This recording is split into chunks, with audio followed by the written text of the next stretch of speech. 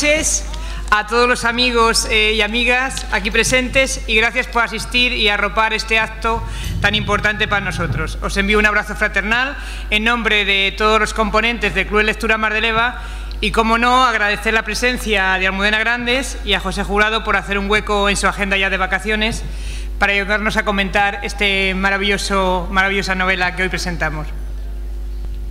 Eh, asimismo, quiero agradecer la colaboración de la Cátedra Luis Cernuda de la Universidad de Sevilla y más concretamente a su alma mater, el catedrático de Literatura Hispanoamericana, José Manuel Camacho, que no sé si habrá llegado, eh, a las bodegas Barbadillo y especialmente en la persona de Rosario Barbadillo, que habitualmente nos presta sus instalaciones, nos abre sus puertas y para celebrar aquí sus actos culturales, nuestros actos culturales, y nos ofrece también siempre una copita luego al terminar el acto. Y a la delegación de fomento del ayuntamiento por eh, acercarnos la megafonía, que parece que funciona bien, y las sillas, aunque han sido escasas, pero bueno, sentimos que no haya para toda la gente, así que eh, un poquito de pie tendréis que estar. Eh, también a la editorial Turqués y a, la librería Alpino, que está aquí con nosotros vendiendo los libros.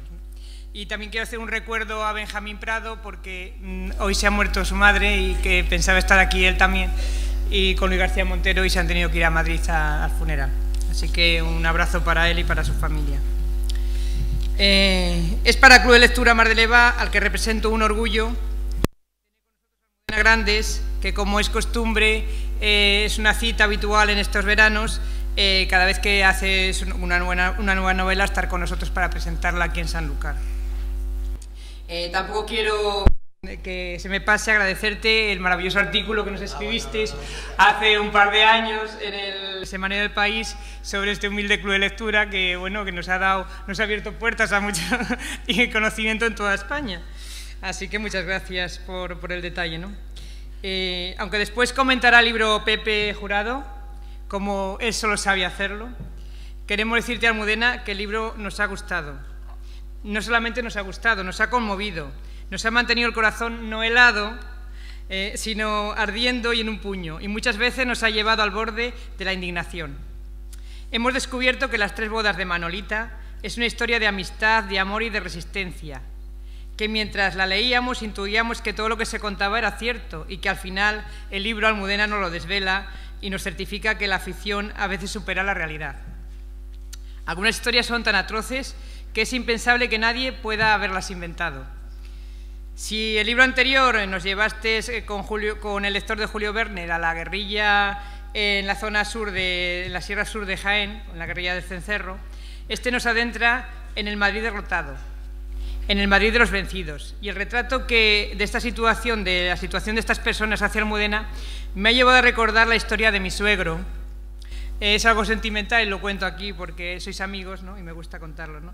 Que fue el, eh, se lo he dicho a mi marido que está por ahí también, digo, voy a hablar de tu padre, porque para mí era también mi padre, ¿no? Y, dice, no quiero saber lo que vas a decir de él, digo, pero bueno, lo voy a contar, ¿no? Eh, mi suegro dice, fue el primero que me habló en los años 70 de la cárcel de Porlier, donde fue desterrado, mm, paradójicamente, cuando él salió de prisión en libertad de la de Valladolid. Eh, eh, curiosamente, a él lo, sacan en libertad después de, una condena a muerte, 30 años de prisión, luego cuatro al final estuvo, y al final lo dejan en libertad, pero la libertad era como una libertad vigilada. Lo desterraron a Madrid, salió de Valladolid y lo desterraron a Madrid, y tenía no sé si que dormir o que ir a fichar allí a la cárcel de Porlier. Y fue cuando me contó él. Y luego después también, eh, de esta cárcel también he tenido conocimiento leyendo las memorias de Marcos Ana, donde nos relata cómo en la galería de sótano se concentraban los condenados a muerte e incluso donde se practicaba el garrotevil.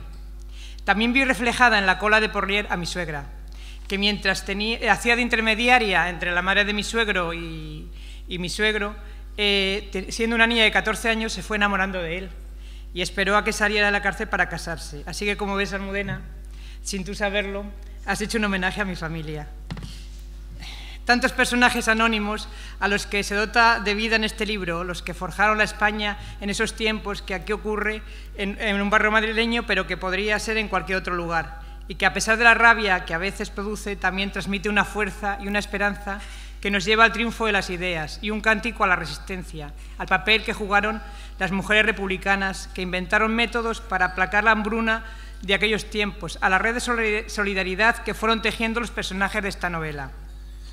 Las tres bodas de Manolita nos habla de tiempos pasados, pero que cuando te vas adentrando en ella vas, ves que tiene connotaciones eh, actuales. ¿no? Nos habla de los desahucios, de corralas de ocupas, de funcionarios corruptos, de empleos en precariedad, etcétera, etcétera. En estos 12 capítulos, eh, con un telón de fondo eh, de la posguerra, nos ha mostrado las cárceles de Porrier y Yeserías, los curas y funcionarios que se forraban con los vis a vis que el cura los llamaba bodas, por eso son las tres bodas de Manolita. ¿no? Los internados de monjas donde iban niñas que eran niñas esclavas que suplían parte de las penas de sus padres encarcelados. La construcción del monumento de Cuelgamuros por los presos republicanos, que se conoce por el Valle de los Caídos. Eh, la historia del Marqués de Hoyos, la entrada clandestina de máquinas de impresión y folletos subversivos, la historia del traidor que se convirtió en el famoso torturador comisario Roberto Conesa. Esas historias que jamás encontraremos ni no encontramos ni encontraremos en los manuales de historia. Siempre digo que hay libros que te entretienen y te enseñan y otros que además están bien escritos, que son imprescindibles. Y este es imprescindible para conocer nuestro pasado, porque además te engancha y está bien escrito. ¿no? Eh, y por último, Almudena, yo como soy miembro del Foro de la Memoria Democrática de Sanlúcar, quiero agradecerte esa labor que haces por la memoria histórica, para sacar a la luz lo que representó la paz para los perdedores, las políticas de exterminio que puso en marcha el franquismo, esas historias de los que llegaron a sobrevivir y de los que murieron por defender unas ideas, esas historias que tantas personas desconocen y porque creo que tus libros tienen que crear conciencia para buscar la verdad, la justicia y la reparación de las víctimas. Y no quiero entrar en más porque me entra muchas ganas de escribir sobre el libro porque es tan bonito y tan, nos ha llegado tanto y nos da pena hasta terminarlo. ¿no? Y ahora pues ya quiero dejarle paso, sino a, a, Pepe, a Pepe Jurado, José Jurado Morales, que es sanluqueño, que mucha gente no lo conozca, es de Sanlúcar. Y os diré que este sanluqueño es doctor en Filología Hispánica y profesor titular de, la de Literatura Española en la Universidad de Cádiz. Eh, una de sus líneas de investigación está centrada en la literatura de, la España de la posguerra, época en la que ha publicado algunas monografías, del testimonio al intimismo, los cuentos de Carmen Martín Gaite y la trayectoria narrativa de Carmen Martín Gaite, una edición también de la colmena de Camilo José Cela, antología de poetas de 50, y tiene otro ámbito también de investigaciones que se centra en autores actuales como Belén Gopegui, Isa Rosa, Fernando Aramburu, Clara Usón o Eduardo Mendicuti, que aquí está presente también. Le doy la bienvenida. Eh, últimamente también, según me cuenta Almudena, pues Pepe se ha convertido en su pareja de hecho. Ahora que no está aquí, una de ellas, una de ellas. también buena Mendicuti, con, con, permiso de Mendicuti de Luis. ¿no?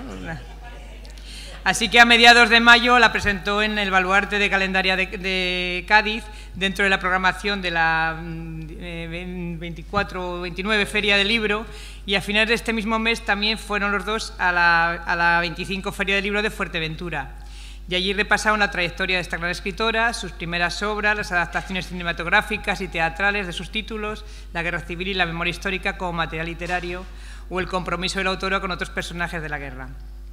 Pepe Jurado, al igual que José Manuel Camacho, que a pesar de su trayectoria de éxitos, nunca se han olvidado de la gente de su pueblo, eh, concretamente de nosotras, nunca se han olvidado de nuestro grupo, y nos, han llevado a compartir eh, sus clases a la universidad, tanto de Cádiz como de Sevilla, para nosotros es un orgullo. Pepe se ha acercado muchas veces a nuestra clase y nos ha dado una clase allí maravillosa. Y, nada, pues que doblemente agradecidos a, los dos. ¿no? Y de Almudena no voy a entretenerme porque como todos los años hablamos de lo mismo y al que quiera conocer más datos de Almudena, clic en internet y ahí encuentra todo lo que hay de ella. ¿no? Y tengo mucho interés por su currículum porque es mejor que nos hable de la novela hoy porque yo creo que ya todo el mundo la conoce tanto que, que vamos a perder tiempo en decir todo lo que has escrito y todo. Así que con tu permiso doy paso ya a Pepe para que, para que nos adentre en la novela. Así que muchas gracias.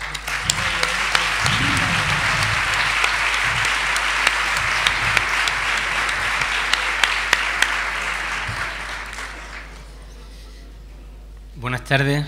Yo quiero comenzar dando las gracias a, a, quien nos acoge hoy en esta tarde, Bodega Barbadillo, porque sin iniciativas privadas como la suya sería imposible que la cultura se moviera en pueblos como este. Así que siempre tenemos que tener en la mente a quien nos acoge y yo me quiero acordar ahora de Bodegas Barbadillo.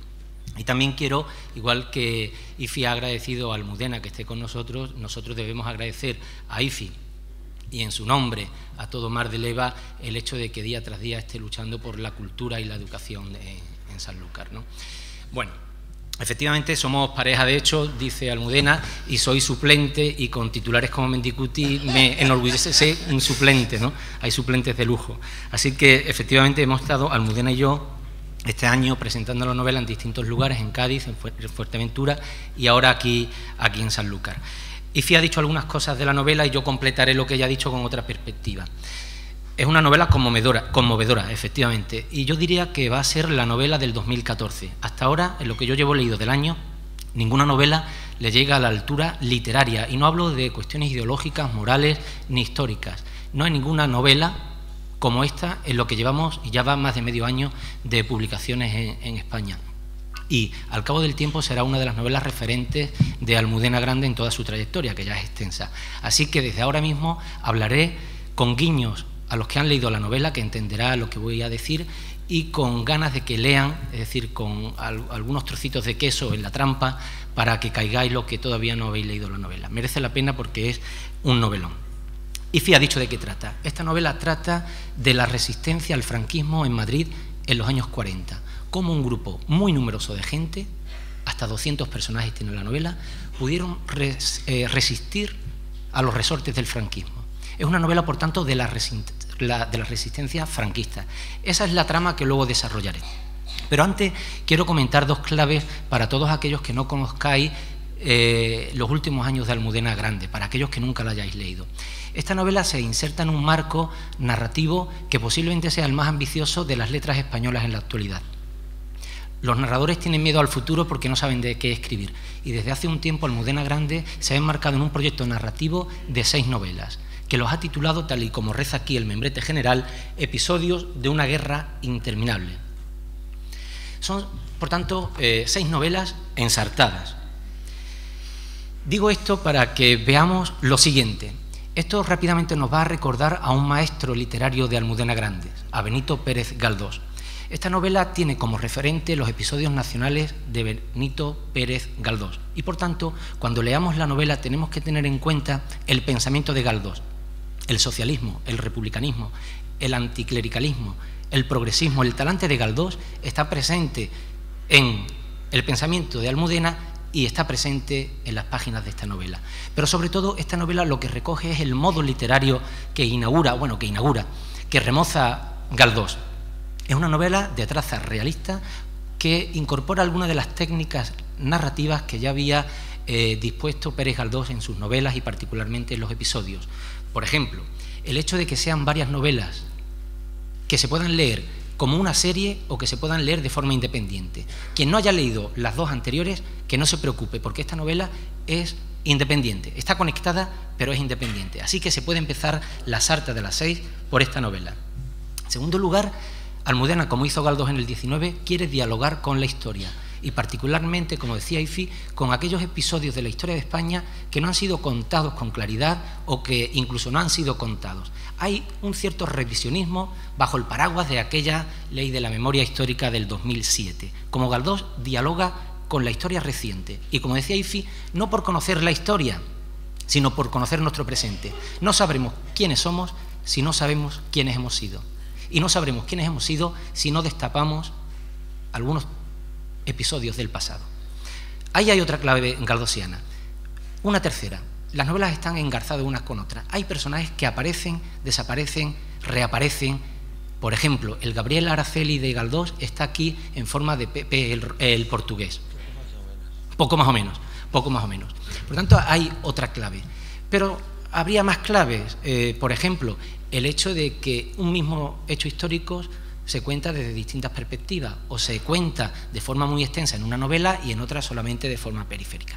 Así que la primera clave para entender la novela es que esta novela se inserta en la tradición realista que podemos poner como antecedente Cervantes, que retoma el 19 y Galdós y que luego continúa Max Saup con el laberinto mágico. Y ahí hasta llegar a los episodios de Almudena Grande. Esa es la primera clave. La segunda clave, episodios de una guerra interminable. ¿Por qué ese título? Todo el mundo tiene en mente el 1 de abril del 39 en que el ejército rojo es derrotado y acaba la guerra. Lo que viene a contarnos en estas seis novelas Almudena Grande es que la guerra civil no acabó en el 39, o que en todo caso comenzó otra guerra civil tan dura, tan desastrosa, pero más duradera, que llevó hasta el 20 de noviembre o incluso un poquito más allá del 75. Se trata, por tanto, de explicarnos la posguerra como una guerra interminable. Cada año de la victoria era un año de calvario y sufrimiento para mucha gente. Así que lo que ella ha pretendido y va a pretender en las tres novelas que siguen es contar la historia de la resistencia al franquismo desde el año 39 hasta el famoso año 64, los 25 años de, paz. Para entender esto que digo, convendría leer una obra de teatro de Fernando Fernán Gómez, o en todo caso ver la adaptación al cine que hizo Jaime Chavarri. Al final de la película, el niño le pregunta al padre, que está interpretado por Ángel González, Agustín, Agustín perdón, Agustín González, y le dice, papá, mamá está muy contenta, está muy feliz porque la, eh, la, guerra ha terminado y ha llegado la paz. Y en ese momento Agustín González lo mira y le dice, hijo, no te equivoques, no ha llegado la paz, ha llegado la victoria. Esto es muy significativo, no es lo mismo un tiempo de paz que un tiempo de victoriosos y derrotados. Y ella quiere contarnos la historia de esos derrotados, mediante la resistencia. Como digo, esta es la tercera novela. Yo me iría corriendo a leer la primera, Inés y la Alegría, que cuenta la historia de cómo un grupo de guerrilleros, en torno a 4.000, tuvieron el sueño utópico de reconquistar España, entrar armado ese grupo por el norte, por los Pirineos, cruzar el Valle de Arán y llegar hasta Madrid y terminar con el franquismo. Esa es la primera novela, la resistencia armada de estos comunistas guerrilleros. La segunda lo ha dicho ya Ifi, el lector de Julio Verne, cómo un grupo de guerrilleros se embosca y hace la guerra al estilo del maquis, como guerrilleros en la Sierra Sur de Jaén, en Fuensanta de Martos y Alcalá La Real en el año 47-49. Y ahora llega con una tercera novela en la que la resistencia se produce también ante el franquismo. Pero hay una diferencia que la hago notar inmediatamente. He hablado de guerrilleros en Inés y la Alegría y he hablado de guerrilleros en El lector de Julio Verne. Por tanto, he hablado de resistencia armada. Es la épica de la lucha contra el franquismo con las armas. En esta novela aparecen armas, pero de forma periférica, para hablar de un túnel y de una forma de resistencia, pero no es la resistencia armada. Aquí se nos cuenta otra historia, la forma que tuvieron mucha gente, hasta 200 personajes, de resistir silenciosamente en los años más duros del franquismo, en los que van del año 40 al año 50. Por tanto, aquí no está la heroicidad, el heroísmo de las grandes batallas, de los grandes héroes, de las grandes hazañas. Aquí está el heroísmo de lo cotidiano, de la vida rutinaria, cómo cada uno de nosotros hubiese resistido a una dictadura hace 70, 80 años. Aquí habla de nosotros, no habla de los grandes héroes, no habla de Monzón o no habla de Cencerro como hace la segunda. Esa es la segunda clave. La primera, Galdós, en el entrecejo el pensamiento y las técnicas de Galdós. La segunda, la épica de la resistencia cívica, nada de resistencia política o armada. Tercera clave que hay que tener en cuenta. He dicho que como Galdós dialoga con la historia, pero nadie debiera buscar aquí un libro de historia. Almudena Grandes estudió geografía e historia en la Universidad de Madrid y por tanto tiene conocimientos, tiene biblioteca y tiene internet para documentarse como quiera sobre la historia de España. Pero ella nunca escribe un libro de historia. Que nadie busque eso aquí, porque encontrará que no siempre es fiel al dato preciso. Todo lo que cuenta aquí está siempre en función de su necesidad literaria. La documentación está oculta bajo la ficción la información detrás de la invención. Ese es un error de muchos novelistas históricos. Creen que con documentar muchas páginas tienen una buena novela y no. Una novela es la creación, la inventio clásica, no es la documentación. De forma que aquí hay mucha información histórica, pero no es un libro de historia. Y por tanto no debemos reprocharle más o menos fidelidad, porque no estaremos de acuerdo con lo que nos cuenta o porque nos parecerá insuficiente lo que nos cuenta. Es un libro de literatura, es una novela, la mejor novela de lo que lleva el 2014. Así que la novela dialoga con la historia y hay una serie de motores, de factores, de acontecimientos históricos que empujan la novela. Ya lo acaba de anunciar también IFI. Desde Inés y la Alegría, Almudena Grande eh, tiene una nueva técnica que es la alternancia o la disposición de capítulos de no ficción, con lo que deja claro que hay una deuda con lo histórico, y capítulos de ficción. Aquí hay dos capítulos de no ficción, que enmarca históricamente la novela, el primero y el último.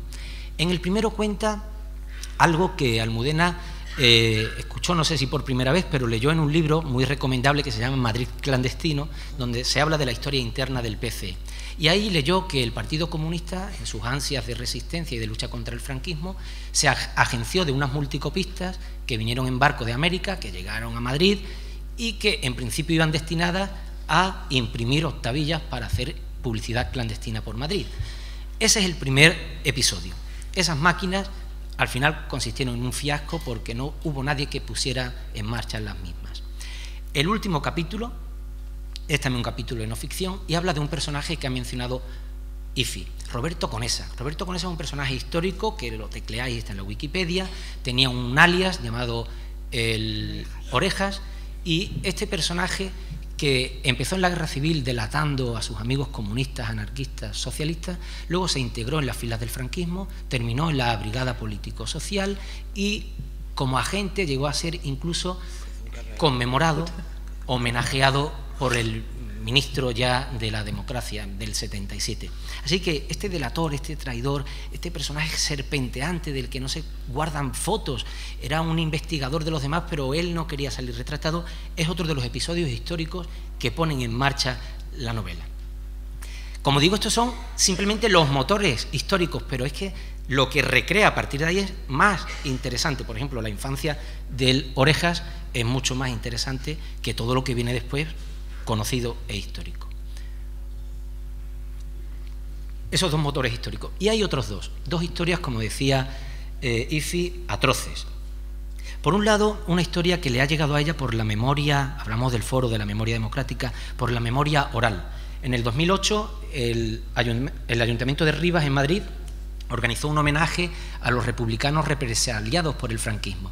Y Almudena se fue allí con sus amigos de, Madrid, con su marido, con Benjamín, se, se, fue allí con Eduardo y allí se le acercó una mujer octogenaria llamada Isabel Perales. Cuando se dio cuenta de que una afamada escritora como Almudena estaba en el homenaje, dijo, esta es la mía, yo no sé escribir, Almudena puede contar mi historia. Y le contó su historia, que es la historia de tantos niños de la posguerra. Mi padre le contó estaba encarcelado en Porlier, mi madre en ventas y nosotros como hijos de republicanos encarcelados fuimos tutelados por el Estado, en teoría tutelados y eh, instruidos. La mandó a ella y a su hermana a un colegio en Bilbao, Zabalvide, para instruirlas, para cuidarla mientras que sus padres estaban en la prisión. Pero eso se convirtió en casi un exterminio. Fue una explotación física, laboral de la mayorcita de ellas, a las que las manos se le caía a trozos por lavar con sosa cáustica los manteles de un restaurante. Y su hermana, que era más pequeña, no llegó a ser explotada, pero sí manipulada ideológicamente, hasta el punto de que llegaba a creer que tenían razón los que le decían que su padre era malo y que por eso estaba en la cárcel de Porlier y al poco tiempo fusilado en el año 41. ¿no? Esa es la historia de la memoria oral que está aquí. Y luego hay una historia de memoria, pero que ella la ha recogido por un escrito. Juana Doña, otra octogenaria republicana, escribió un libro que se publicó por la editorial Lumen en el 2003, titulado Querido Eugenio. Y ahí lo que transcribía fundamentalmente, pero no solo, era el blog del marido mientras estuvo en la cárcel de Porlier. Luego hay mucha documentación del proceso del Consejo de Guerra y otros apuntes, ¿no? Pero lo esencial es la memoria que Eugenio el figurado Eugenio hacía de aquellos años de Porlier. Y ahí descubre dos episodios que están aquí. Por un lado, las bodas que organiza un cura el nombre eufemístico de bodas, que en el fondo era un vis a vis, estar un rato con, tu pareja, había que pagar un dinero, 200 pesetas, había que entregar unas viandas que el cura se repartía con sus cómplices.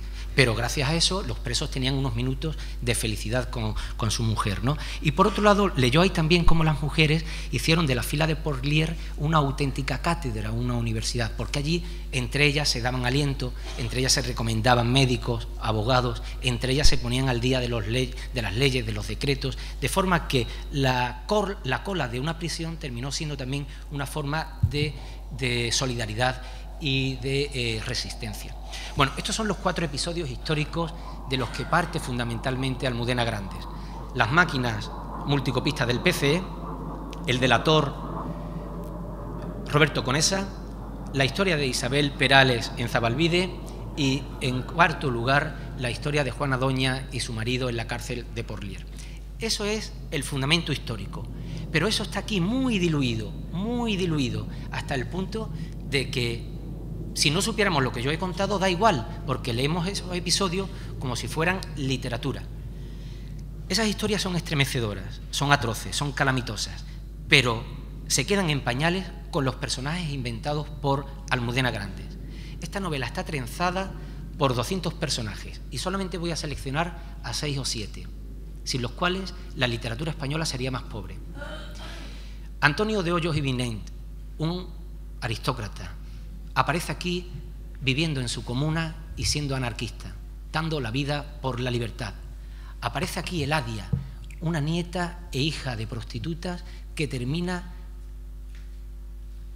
siendo que termina eh, una, una, nieta e hija de prostitutas que, eh, que, termina eh, siendo abusada ¿no? moral y, y sexualmente. Aquí está La Palmera, un homosexual que es repudiado por ser homosexual por su familia y luego estigmatizado por el franquismo. Aquí está Silverio, un chico bueno hasta no poder más, que es simplemente un impresor que termina como Miguel Hernández, haciendo turismo por las cárceles de España. Y está en Porlier, en el puerto de Santa María, en Cuelgamuros, y que termina haciendo el Valle de, los Caídos. Aquí está esa Isabel Perales, a la que se le caen las manos con la sosa cáustica. Y está su hermana Pilar, a la que la manipulan y no cree que el padre sea tan bueno como todo el mundo cree que, que es su padre. Pero aquí está el hermano de esas dos, Antoñito el comunista, el guapo, del que tantas se enamoran en la novela y que como tantos otros resiste como un topo en un tablao flamenco en el Madrid de los años 40. Cada uno de estos episodios realmente es un novelón y está inventado, no es la historia. Por tanto, la capacidad de Almudena Grande va más allá de investigar y documentarse para crear, para inventar. Porque esa historia no tendría sentido solamente con la información que hay en Internet. Necesita la mano de una escritora. ¿Y dónde está la mano de Almudena Grandes? En disponer eso estructuralmente. La novela comienza con un capítulo de no ficción y termina con uno de no ficción. Es decir, la novela está cerrada perfectamente, no hay un hilo fuera de la madeja. Y luego toda la novela está contada en primera persona por la protagonista que da título a la misma, Manolita. Pero alterna la historia de su vida en primera persona con capítulos donde se cuenta en tercera persona la historia de cada uno de estos personajes. De forma que la novela se va tramando, se va tramando, se va tramando hasta que al final te atrapa en esa tela de araña. Una historia estremecedora, unos personajes eh, que viven vidas o episodios atroces y sin embargo cuando uno termina la novela no tiene ganas de llorar porque esta novela no busca la misericordia, ni la compasión, ni la caridad, ni la pena. Esta novela no va al sentimentalismo fácil, no es un melodrama. Esta novela está escrita para nuestra conciencia, para nuestro conocimiento, para nuestra reflexión. Cuando terminamos de leer, nos planteamos qué país hemos sido y qué país seguimos siendo. Nos planteamos que cada uno de esos personajes, en última instancia, es uno de nuestros antepasados. Por tanto, esta novela, antes que nada, lo que quiere es replantear la historia de España, no para cambiarla, sino para que tomemos conciencia de cuál ha sido la historia de España. Porque, en caso contrario, nunca nos enteraremos de cuál es nuestra identidad como comunidad, como conjunto, no ya como individuo, que cada uno puede hacer lo que quiera. Termino como comencé. Esto es un novelón que empobrece a todo aquel que no lo lea. Y el que lo lea que no lo lea desde una perspectiva ideológica, porque no estará de acuerdo con ella, estará más a la izquierda que ella o más a la derecha. Que no lo lea con una perspectiva política, porque no estará en el Partido Comunista, ni en el Socialista, ni en Podemos, ni en el Partido Popular, estará en otro. Que no lo lea con una perspectiva moral, porque lo moral absoluto no existe y cada uno tendrá sus principios. Que lo lea como un libro de literatura, con una estructura envidiable, con unos personajes que pasarán a la posteridad de su obra y de la literatura española, como una novela, como una novela que será referencia del principio del siglo XX. Hay pocos libros que encierren o que entretejan también la historia y la ficción. Hay pocos escritores en España que tengan el oficio literario de Almudena para nivelar, entretejer, entreverar lo histórico y lo ficticio. Y hay pocos escritores como ella que tengan la capacidad y el oficio para contar y denunciar, para contar y conmover. Gracias Almudena por una novela tan tremenda como esta.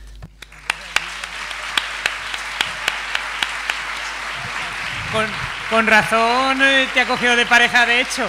Vamos. Me parece, Eduardo, que, que, no tiene nada que hacer ya. Bueno, pues le voy a dar la palabra a Almudena. Bueno, muchas emociones juntas. Eh, buenas noches, estoy muy contenta de estar aquí de nuevo en San Lucas, eh, de haber sido invitada por mis lectoras de Mar de Leva, que nos conocemos desde hace mucho tiempo y que se merecen todos los artículos del mundo, no solo uno, y con el patrocinio de IFI, que efectivamente es una guerrillera de la lectura y de, y de la agitación cultural en tiempos dificilísimos. Y entonces, efectivamente, como ha dicho Pepe, eh, hay que darle las gracias a quien se las merece. Gracias a Pepe Jurado por esta presentación tan formidable. Presenta ya la novela mejor que yo. o sea, que ya la presenta mejor que yo y, y, luego dice esas burradas al final que me pongo muy nerviosa, pero yo se las agradezco de corazón. Y bueno, realmente entre Pepe y Ifi han presentado una novela también que tengo poco que añadir sin empezar a destriparla, que es lo que nunca hay que hacer en una presentación. Eh, como está mi querido Eduardo sentado en la primera fila, eh, sí diré que él también es un poco protagonista de la novela, porque la novela se la dediqué a él. Él es el, el, dedicatario, no sé cómo se dice, de la novela, eh, y en parte es el responsable de, de parte de la historia, porque Eduardo me dijo a mí una vez, yo no escribo novelas como las tuyas, pero tú deberías escribir sobre Hoyos y Vinent, sobre el Marqués de Hoyos revolucionario, porque ha quedado muy mal y hace falta que quede bien, porque él se merece quedar muy bien.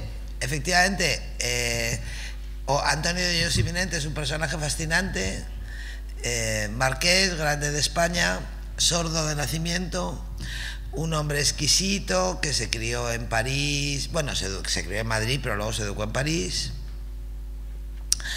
que fue un novelista decadente, de esos que publicaban todo el tiempo eh, novelas psicalípticas en la novela semanal, siempre sobre grandes amadores y mujeres lascivas y fumadores de opio, eh, y que cuando se proclamó la Segunda República Española eh, tuvo una conversión empezó a mirar a su alrededor, comprendió cuál era el papel que había jugado su familia en todo lo que estaba pasando eh, y se hizo anarquista, se hizo anarquista de verdad.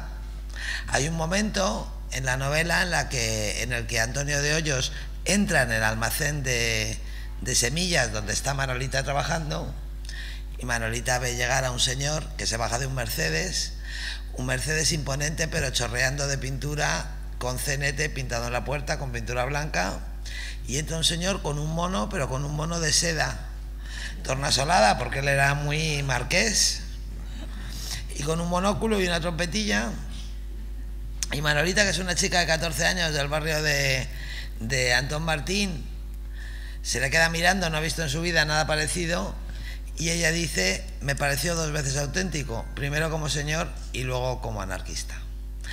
Eh, bueno, pues gracias a la recomendación de Eduardo que me dijo que habría que escribir sobre la transformación de hoyos, sobre esa especie de deslumbramiento, de amor universal que le llevó a convertir el palacio de su familia en una comuna que mantuvo él con los fondos del patrimonio familiar hasta el final de la guerra. Él iba recorriendo Madrid y familias, a todas las familias que veía durmiendo en el metro, familias de refugiados que habían llegado a la ciudad eh, expulsadas de sus pueblos por el avance del ejército franquista, por el sur, por el este. A todas las familias que veía durmiendo en el metro en un portal, pues se las llevaba a su casa. y convirtió un palacio de la calle Marqués de Riscal en un, en un campo de refugiados. Y cuando acabó la guerra fue coherente hasta el final y en vez de intentar escaparse, que lo tendría bastante fácil, porque al fin y al cabo era un grande de España y tendría muchos contactos, él decidió correr la suerte de sus compañeros y fue a la cárcel de Porlier y murió allí. Eh, la historia de Hoyos, cuando la investigué, me emocionó tanto que decidí dedicarle la novela Eduardo y además me regaló a uno de los personajes claves de esta historia, que es la palmera. Que la palmera es un hombre que trabaja de palmero en un tablao. Y le llaman la palmera por razones obvias. Y, y la palmera fue un personaje que surgió de la necesidad de meter a Hoyos en la novela. Porque yo dije, bueno, si quiero meter a Hoyos en la novela, porque Eduardo me dio el mandato de que tenía que meter a Hoyos en la novela, ¿cómo vinculo yo a Hoyos, que al fin y al cabo es un aristócrata, con una familia que tiene un almacén de semillas en la calle Hortaleza? Necesitaba un eslabón y ese eslabón es, es la palmera, ¿no? La palmera que está enamorado al principio de la novela del hermano de Manolita y luego se convierte en una especie de ángel de la guarda para ella, ¿no? Eh, como Pepe ha contado también la novela, me ha dejado muy pocas cosas que decir. Voy a hablar un poco de la protagonista. Esta novela mmm, se puede contar de muchas maneras. Eh, casi todas se han dicho aquí ya. Hay una forma sencilla de contarla diciendo que es la historia de una pandilla. Es la historia de una pandilla de amigos que viven en un barrio de Madrid, en el barrio de Antón Martín, antes de la guerra y de lo que la guerra y la posguerra hace con ellos. Y en esta pandilla, como en casi todas las pandillas, hay un chico muy guapo. El de esta pandilla es tan guapo que le llaman Antonio el Guapo, ¿no? Se convierte ya en una categoría. Y Manolita, para que se vayan haciendo ustedes una idea, es eh, una chica con mala suerte, porque es una chica vulgar en una familia de guapos, es una chica baja en una familia de altos, es una chica que no tiene ningún rasgo particular, no es muy guapa, tampoco es fea, no tiene muy buen tipo, tampoco lo tiene malo, es una chica exactamente del montón. Y tiene la mala suerte de ser la chica del montón, que es la hermana pequeña de Antonio el Guapo. Con eso ya se hacen un poco ustedes una idea de quién es Manolita. Pero Manolita es muchas más cosas. Manolita al principio de la novela es la señorita conmigo no contéis. Porque, como ella misma dice, en su familia la guerra le sentó tan estupendamente a todo el mundo que todos se ofrecieron voluntarios para dejar trabajos que no les gustaban. Y todos los trabajos que no les gustaban le fueron cayendo a ella, ¿no? Entonces ella cuidaba de sus hermanos, hacía la comida, limpiaba la casa, eh, despachaba al piste en el almacén de semillas de la familia, le llevaba a su padre eh, la comida a un cuartel, le llevaba a su hermano la comida a otro cuartel, y cuando su hermano Antonio le dice que por qué no milita en la célula que ha fundado en el salón de su casa, ella dice, sí, hombre, conmigo no contéis, ya tengo yo bastantes cosas que hacer. Y entonces le ponen de mote, la señorita, conmigo no contéis. Entonces esta novela es también la historia de cómo esta chica, que es muy joven, que está absolutamente desarmada, que no tiene formación, que no tiene un oficio, que no está preparada ni, de, ni remotamente para lo que se le viene encima, pues esta novela cuenta cómo la señorita conmigo no contéis se convierte en una heroína, porque para mí Manolita es una heroína, aunque no lleve armas, aunque no eh, haga ningún trabajo clandestino o político llamativo, ella es una heroína que libra una guerra todos los días y la guerra de Manolita es llegar viva al día siguiente. Ella se ha quedado sola, con cuatro hermanos pequeños, su padre fusilado, su madre en una cárcel, pierde, se queda sin trabajo, la echan de su casa, se tiene que meter a vivir de ocupa en un edificio en ruinas. Esto me gustaría hacer un paréntesis para decir que está basado en una historia real, que mi familia me contaban toda la vida, ¿no? O sea, parece que todo es muy moderno, parece que ocupar casas es, es muy moderno, pero una conocida de mis padres este, tiró 10 años viviendo en un edificio en ruinas porque le pagaba un dinero a un funcionario del Ayuntamiento de Madrid que cobraba un alquiler ilegal a cambio de poner el expediente de la casa siempre en la parte de abajo de la pila, para que nunca jamás eh, la demolieran. Entonces, Manolita se mete de ocupa en un piso interior de un edificio bombardeado, que solo está bombardeada la parte exterior, pero la parte interior está bien. Esto parece muy moderno, pero no lo es. Igual que lo de los desahucios y el paro y todo eso, ya saben ustedes que no es, que, también mm, parece muy antiguo, pero es muy moderno. ¿no?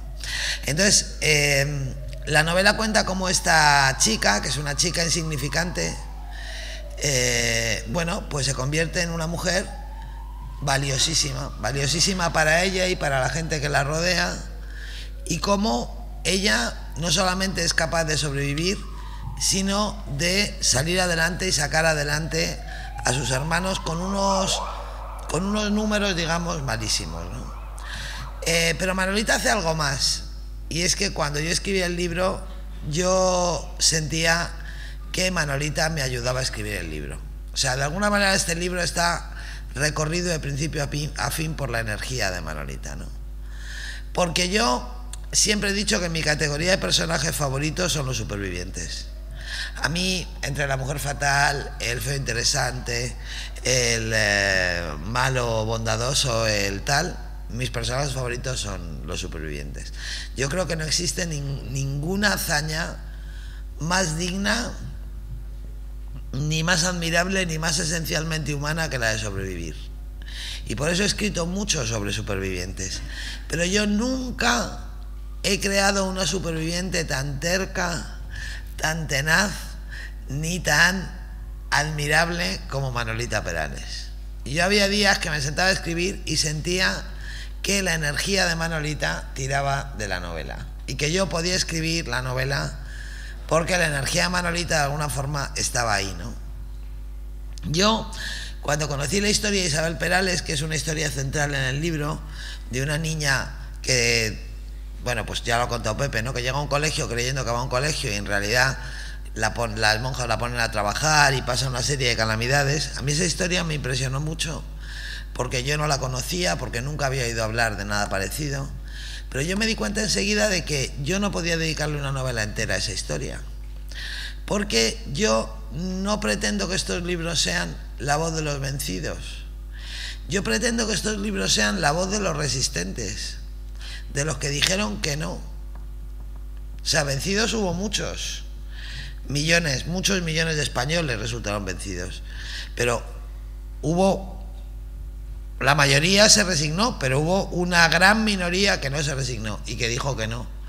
Y la tristeza no tiene que ver con los resistentes. Por eso la primera novela de la serie se llama Inés y la alegría, porque la resistencia está mucho más vinculada a la alegría que a la tristeza. Y yo no quería escribir una novela triste. Sobre esta época calamitosa y llena de desastres, yo no quería escribir una novela triste. Por eso me inventé una hermana superviviente para Isabel Perales y por eso la novela, la protagonista de la novela es Manolita. Y Manolita es la que tira de sus hermanos, de su padre, de su madre, de Antonio de Hoyos cuando está en la cárcel y la que tira de la, de la propia novela. ¿no? Y efectivamente la energía de Manolita surge de la cola de la cárcel de Porlier. Las tres bodas de Manolita, y es la, la otra forma de definir la que me falta, es una novela sobre una cárcel. Pero el escenario principal no es lo que ocurre dentro de la cárcel. El escenario principal es lo que ocurre fuera, entre las mujeres que hacen cola, que se ven todas las semanas o varios días a la semana porque hacen cola para eh, llevar paquetes o para ver a sus presos. ¿no? Manolita la primera vez que llega por Lier a ver a su padre se siente muy avergonzada. Piensa que todo el mundo que se cruza con ella por la calle sabe a dónde va, que todos piensan, mírala, ella va por Lier porque tiene un padre preso, que habrá hecho su padre, patatín y patatán. Y enseguida llega a la cárcel y descubre que está muy equivocada. Y empieza a descubrir que la realidad no es como parece. Descubre que en, en la cola hay dos tipos de mujeres. Las viudas precoces, que están como muy solas y van vestidas de negro y son muy llorosas y están todo el rato pensando en la muerte de los presos que hay dentro, que es el tipo de mujer que encaja un poco con la idea que Manolita tiene cuando va a la cárcel por primera vez. Y luego están las mujeres que van a la cárcel como, la, como quien va de paseo, que eso lo ha contado Pepe también.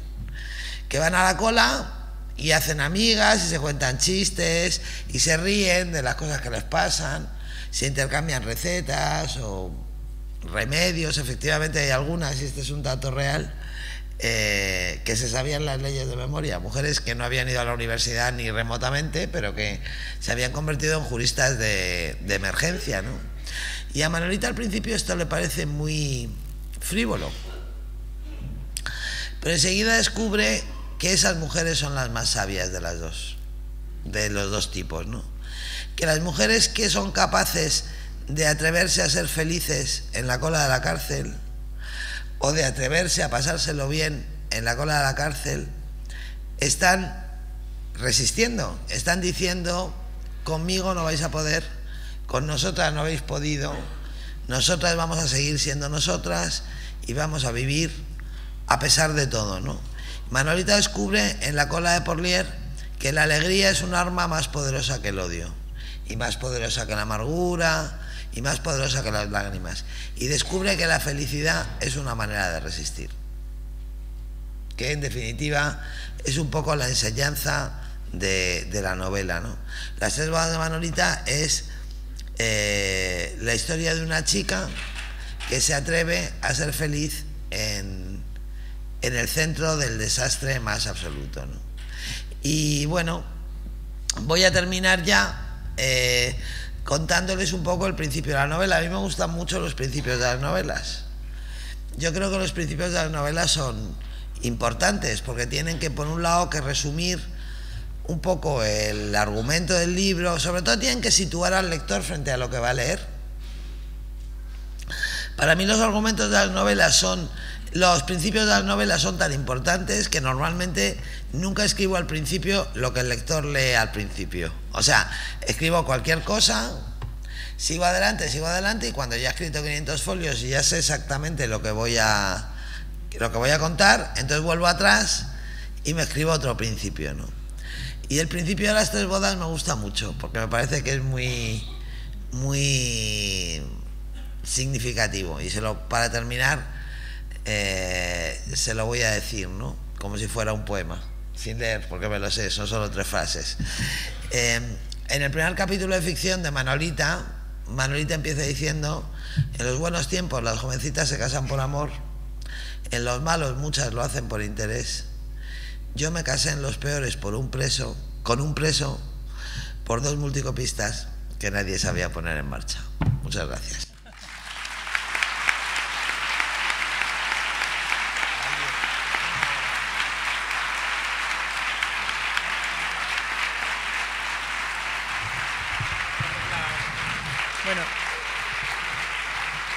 No voy a decir el nombre, eh, y gay, públicamente gay, que también le llamaban la palmera porque iba dando palmas en las manifestaciones y se le veía mucho. o sea que junté el personaje de Eduardo con las palmas del otro y ya salió el tema flamenco, ¿no? Lo de, lo de la vida de tu lo de los nombres de tu abuelo no lo puedo justificar. Pero lo de la palmera sanluqueña, eh, a mí me gustó tanto, tanto, tanto ganas de hablar. Me gustó tanto que también me pareció que estaba bien. De todas formas, en la vida, eh, fíjate que yo tengo buena memoria, ¿eh? y yo me acuerdo, por eso escribo novelas tan largas, porque yo tengo buena memoria y en teoría me acuerdo de todo. Sin embargo, muchas veces cuando escribes tomas decisiones que tú crees que son espontáneas y crees que son muy y que se te han ocurrido a ti y qué bien y qué bien y luego te das cuenta que le has puesto el nombre al personaje por algo o que has tomado una decisión por algo. Entonces yo creo que cuando pensé en todo esto ya la palmera se llamaba la palmera. ¿Sabes? Entonces, a mí me gustaba, la palmera me gusta porque aparte de cumplir la misión de enlazar a, un grande de España con, unos comerciantes de semillas, eh, yo pensé que era muy buena y mm, que me gustaba analizar lo que pudo representar, por un lado, el advenimiento de la República con esa carga inmensa de libertad para un homosexual, un homosexual con pluma, flamenco, con los ojos pintados. Hay un momento en el, en el libro, que eso me gusta mucho, en el que la palmera decide irse a Madrid porque está en Sevilla y ve las fotos del 14 de abril con todo el follón aquel y todas las mujeres con, con gorro frigio y todas las chicas con túnica y todo el follón aquel de gorras y sombreros y cabezas destapadas, ¿no? Y entonces la reflexión que él hace es, había llegado la hora de los desposeídos, la hora de los que nunca habían tenido nada, la hora de los que nunca habían tenido suerte, y luego dice, la hora de los maricones, mi hora. Entonces eso me gusta mucho, me gustó mucho la imagen de que él dijera, mi hora. Entonces se compra un billete de tren y se va a Madrid, ¿no? Y también me gustó mucho, me pareció muy interesante, igual que me pareció interesante contar lo que pudo representar el advenimiento de las libertades republicanas para un homosexual de estas características. Ya además ya estaba yo muy enamorada del personaje, ya había decidido que el personaje iba a ser un pilar de la novela también me pareció interesante en una novela de resistentes, bueno, contar cómo en un país donde, en una ciudad donde todo el mundo tenía miedo por lo que hacía, por lo que pudiera llegar a hacer, hay un personaje que tiene miedo por lo que es. Entonces me interesaba mucho eso. Y de hecho, a mí una de las cosas que más me gusta de la novela porque aunque yo la haya escrito, pues hay cosas de las que estoy más contenta y cosas de las que estoy menos contenta, es que al final en la transición eh, la palmera vive, viva, llegué a la transición para pintarse los ojos otra vez y como ya es un anciano y tiene mal pulso, en vez de una raya fina se pinta una raya gorda y llena de grumos. A mí esa imagen me parecía que tenía una fuerza metafórica enorme y, y me gustó mucho. Lo que no, ya, lo del nombre de tu abuelo ya no te lo puedo explicar. A ver, el capítulo de Isabel. El capítulo de Isabel Perales, de la hermana segunda de Manolita, la que va a un colegio interna en Bilbao y cree que va a estudiar y la ponen a trabajar, es una versión bastante, bastante literal literaturizada, pero bastante literal, de la memoria de una persona, de la auténtica Isabel Perales, que es una mujer que va a cumplir 88 años y tiene una memoria prodigiosa y se acuerda estupendamente de todo. Yo eh, he reflexionado sobre lo que ella cuenta y a lo mejor he sacado conclusiones que ella a lo mejor no, no se ha atrevido a sacar o no ha podido sacar, pero lo que he hecho ha sido contar básicamente lo que cuenta ella, ¿no? Eh, y efectivamente, yo creo que la, culpa era el instrumento y, el objetivo básico para someter. Hay, hay un, un, elemento en ese capítulo, esto no es de estripar porque es muy pequeñito, que es muy significativo y que tampoco me lo he inventado yo, porque también viene de la memoria de Isabel, que refleja muy bien lo que tú dices. Las niñas pasan mucha hambre. Porque claro, el gran negocio de acoger hijos de presos, igual que el negocio de acoger presos, trabajadores penados, era ahorrar en el dinero que pagaba el Estado para alimentarlos. O sea, el Estado pagaba todos los meses una cantidad por los hijos de presos que estaban en colegios o por los trabajadores de los destacamentos. Si en vez de gastarte esa cantidad entera te gastabas la mitad, pues eso que te llevabas ya era un negocio estupendo, ¿no? Entonces, las niñas pasaban mucha hambre. La dieta de las niñas que cuenta la novela es literal también. Las niñas pasaban tanta hambre que en un momento determinado Isabel y sus amigas vieron que cuando les tocaba lavar había codazos, había algunas que subían la escalera a codazos para llegar las primeras a los manteles. Y lo que hacían era tocar los manteles así y de vez en cuando metían la mano por debajo. En definitiva, ellas lavaban los manteles de un hotel y de un restaurante y a veces los camareros no los acudían. Entonces lo que buscaban las más listas eran las migas de pan que habían quedado en los manteles. Entonces, eso es literal. Isabel me dijo que a ella se le ocurrió, eso no sé si es literal, ella se atribuye el mérito, yo solo he atribuido, que las niñas lo que hicieron fue organizarse. O sea, pensar que lo que tenían que hacer en vez de pelearse por las migas era ponerse de acuerdo para sacarle partido. Entonces metieron unas notas en los manteles diciendo, por favor no tiren el pan, nosotras nos lo comemos. Bueno, pues esa historia es verdad. Eso que parece que me lo he inventado yo es verdad. Y la reacción de las monjas también es verdad. Y la reacción de las monjas es admirable porque hay que ser muy retorcida para reaccionar así. O sea, cuando la monja vio que las niñas recibían trozos de pan y aceitunas, porque había camareros que se enrollaban mucho y metían de todo, otros no. Pero había días que llegaban aceitunas y pegotes de azúcar y tal. Cuando las monjas vieron que las niñas se habían organizado para aprovechar eso,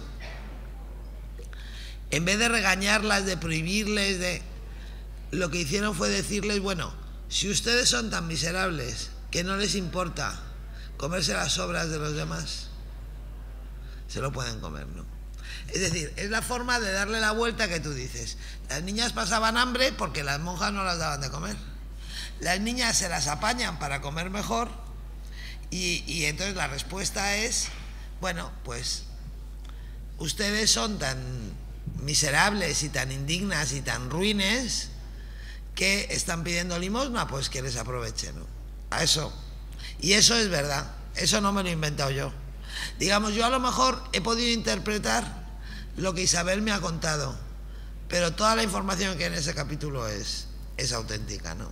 Y lo tremendo es que Isabel no es un caso aislado.